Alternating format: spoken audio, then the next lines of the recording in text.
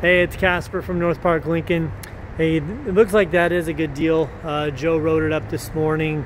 So um, if you did want to put a secondary deposit on it, what that does is if that deal doesn't go through, it'll give you first right of refusal.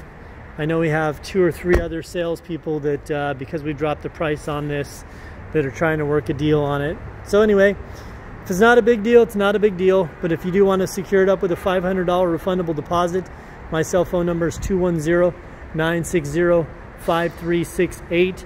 It is a killer deal and a very clean car. So we'll talk to you soon.